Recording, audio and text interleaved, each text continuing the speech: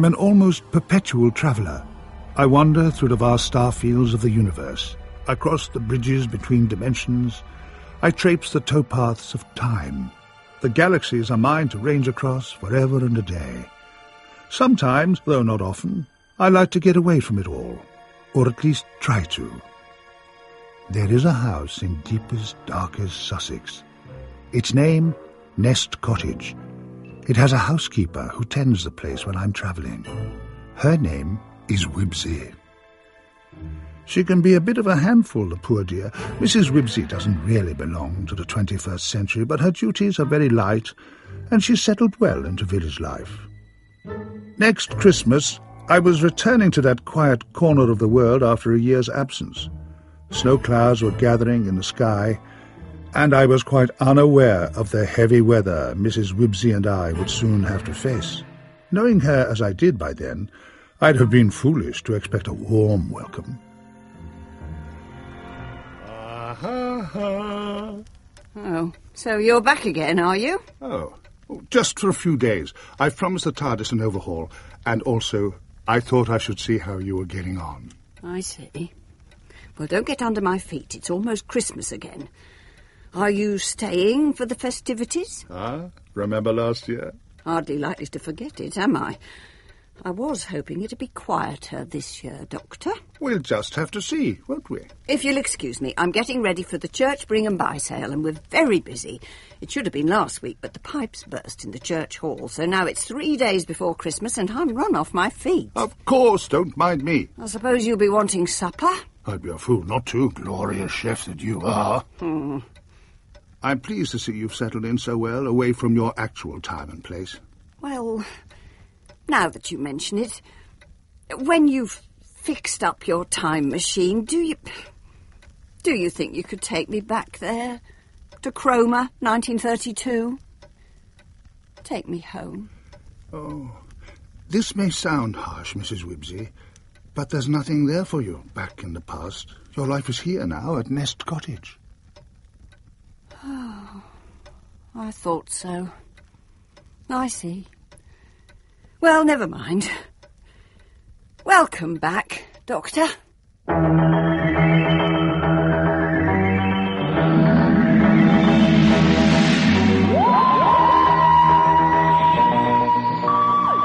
Doctor Who, Demon Quest, The Relics of Time by Paul Magrs, starring Tom Baker and Susan Jameson.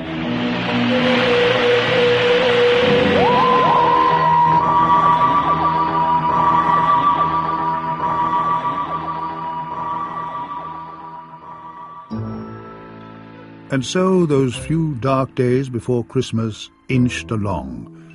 Snow fell, and Mrs. Wibbsey came and went, banging and clattering about with box loads of stuff from the attic and the cellar.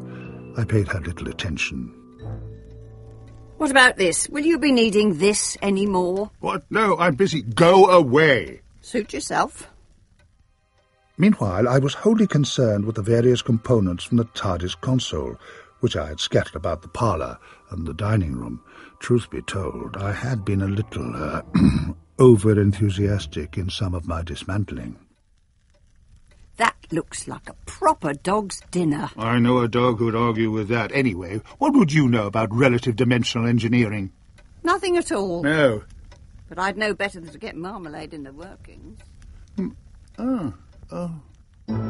And with that, she was gone down to the church hall in a flurry of biscuit tins and eider downs.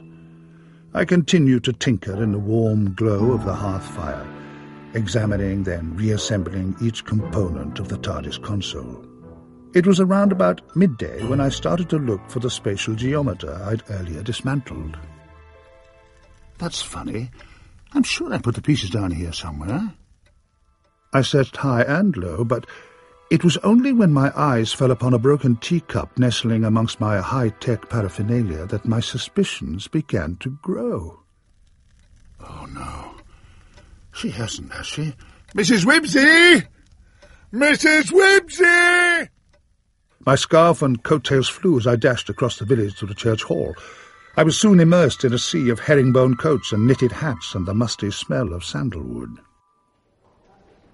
Hello, Doctor. Come to find some new togs? There's a lovely cardigan here. Mrs. Wibbsey's stall was lavishly stocked, and mostly with belongings of mine. What was more, she had already made twenty-three pounds fifty-seven pence out of sundry artefacts.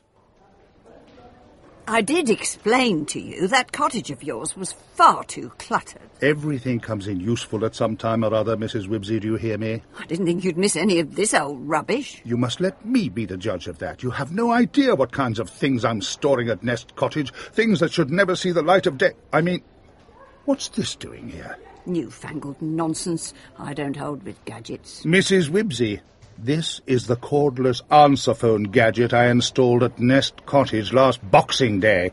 It's important and very cleverly souped up for my own special purposes. Someone may try to get in touch with me. Keep your voice down. Deirdre Watsit's earwigging. Never mind about Deirdre Watsit. I can't find a very important component of the TARDIS.